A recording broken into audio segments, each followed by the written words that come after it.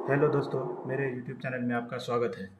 मैं आज आपको बताऊँगा कि लूप कार्ड को कैसे, जो मेरा फायर पैनल होता है, उससे कैसे हम उसको इंटीग्रेट करते हैं, यानी उसको उसके साथ कैसे जोड़ते हैं। ये इसको पैनल में सेटिंग किया करना पड़ता है। इस लूप कार्ड्स का अगर हम पैनल से कॉन्फ़िगरेशन नहीं करते हैं, या फिर पैनल में इंस्टॉल नहीं करते हैं तो फिर हमारा ये जो डिटेक्टर डिटेक्टर जो होते हैं इसका प्रोग्रामिंग या ऑटो लर्न नहीं हो पाएगा, जिसकी वजह से ये करना बहुत ज़रूरी होता है। तो सबसे पहले तो हम वायरिंग को देख लेंगे। यानी इसका जो रिबन केबल है, इसको यहाँ से इसको कनेक्ट करेंगे। और करते हुए ये रिबन केबल इसमें, मेरा लूप कार्ड में इन कर देंगे। यानी इसका आउट केबल इसका आउट सीपीयू का आउट केबल लूप कार्ड का इन केबल बन जाएगा। उसके बाद फिर इसका आउट केबल इस लूप कार्ड का आउट केबल फिर इसका इन केबल बन जाएगा। इस तरह से ये आपस में लूपिंग हो जाता है। अब आपको बताऊँगा कि कैसे पैनल को, इसमें पैनल को इंस्टॉल किया जाता है सारे लूप कार्ड्स को। यानी लूप कॉन्फ़िगरेशन कैसे किया जाता है, ये मैं आपको बताऊँगा। सबसे पहले मेन मेनू में गए, फिर प्रोग्राम अलर्ट स्टेटस में गए, फिर डिफ़ॉल्ट पासवर्ड आता है, उसको डाल देंगे।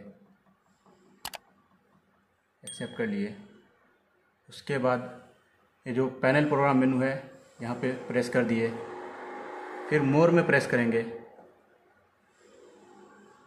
उसके बाद यहाँ देखें लूप कॉन्फ़िगरेशन यानी हम ये करने जा रहे हैं लूप कॉन्फ़िगरेशन करने जा रहे हैं।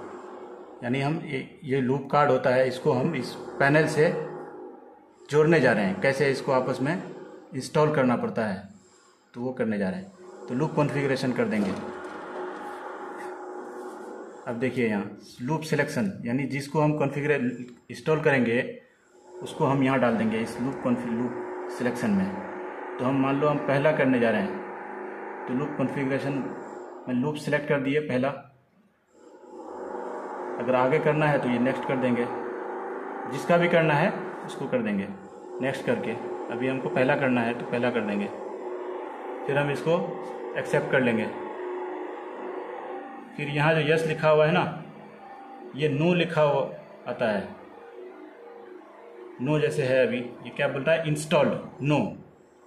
अभी हम इसको यस कर देंगे। तो यहाँ फिर ऑन हो गया। यानी बिलिंग जो करता है ना डिटेक्टर बिलिंग करता है तो बिलिंग मोड इसका ऑन हो गया। फिर ये फ्लैश स्कैन में डाल देंगे। यहाँ से सिलेक्ट करते हैं फ्लैश स्कैन उसके बाद इसको फ्लैश स्कैन मोड पोल ये भी फ्लैश स्कैन में कर देंगे। उसके बाद इसको एक्सेप्ट कर लेंगे। और हम बैक आ जाएँगे। इस तरह से ये हमारा पूरा बैक आ जाएँगे फुल बैक अब हमारा ये जो लूप कार्ड है, ये जो लूप कार्ड है, सारे आपस में पैनल से कनेक्ट हो गए।